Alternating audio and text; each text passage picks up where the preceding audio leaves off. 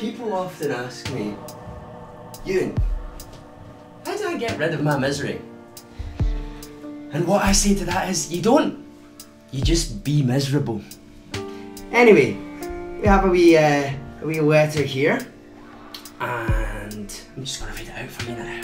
Dear Euan of Euan's Misery Corner, they full named me there. I have an issue that I am in desperate need of sorting.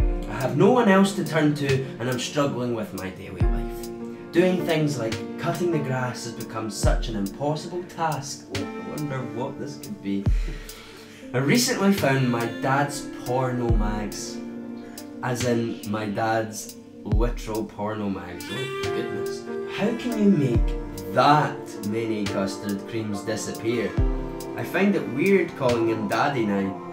He's confused that I have started wearing clothes in bed. What should I do?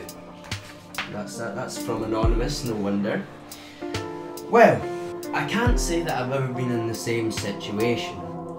Um, I've found porno mags before, not belonging to my father. The situation on the custard creams, maybe I'd like you to enlighten me a bit more on what exactly that entailed. Um, I mean, I think everyone finds it weird. Call- I don't even call my own dad daddy. Um, that's just for special men. I do feel like this is a. I, I feel like it's a bit of an overreaction if I'm being honest. Finding porno mags, it's not that big a deal. It's not that big a deal.